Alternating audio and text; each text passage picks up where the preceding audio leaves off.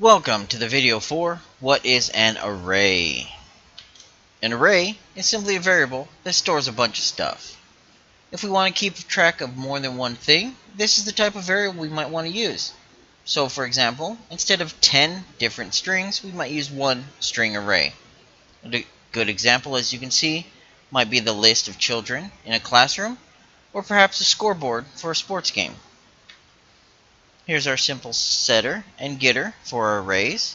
When you use the setter, you'll notice that it displays the variables in a nice organized list with the ability to add and remove elements from that array.